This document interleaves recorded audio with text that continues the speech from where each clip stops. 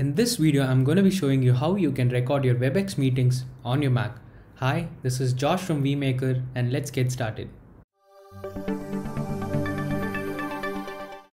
Here's the thing. If you're part of a WebEx meeting and the system administrator or the meeting host hasn't given you the permission to record the meeting, the easiest way around it is by using a third-party app like vMaker to record it. Let me tell you what vMaker is. vMaker is an app that lets you record your screen, webcam, and audio together. To start recording your meetings, the first thing that you'll have to do is install vMaker. To do that, open www.vmaker.com. Click on the Sign Up Now button on the top right side of the website. You can choose to sign up using your Google account or your Facebook account, or you can also sign up using your email ID. I'm going to be signing up using my Google account over here. Once you have successfully signed up, you will be taken to the vMaker dashboard where you can see the button to download vMaker for Mac. When you click on it, the DMG file for installation will be automatically downloaded.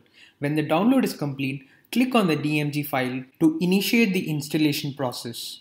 Once the installation process is complete, you will be shown another window where you simply need to drag and drop vMaker into the application folder to complete the installation process as shown in this video.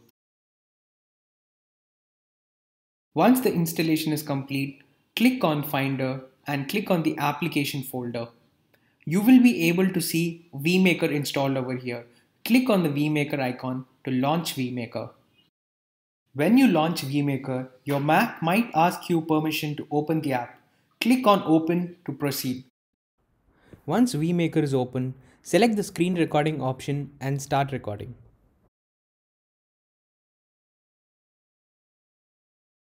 Now that your screen is recording, all you have to do is join the WebEx meeting that you want to record.